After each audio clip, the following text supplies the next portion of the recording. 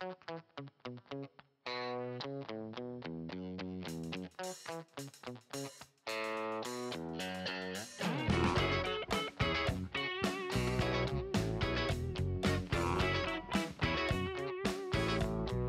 name is Terrance Osborne. I'm from New Orleans and I'm a visual artist. I love color, I love to paint.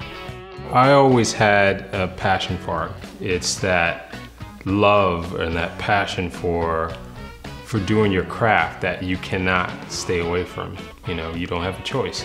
It's driven by something that is much greater than me. Through my art, I'm able to express myself I don't think there's anything else that that gets close to that other than my art.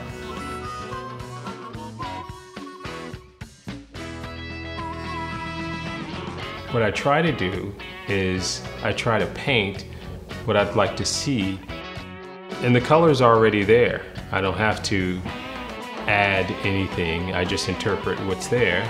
You define what's art. It just depends on your perspective.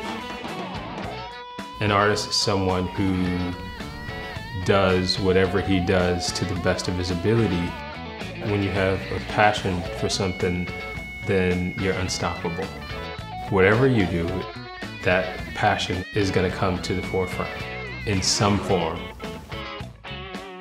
I don't want you to walk into a room and pass my work up.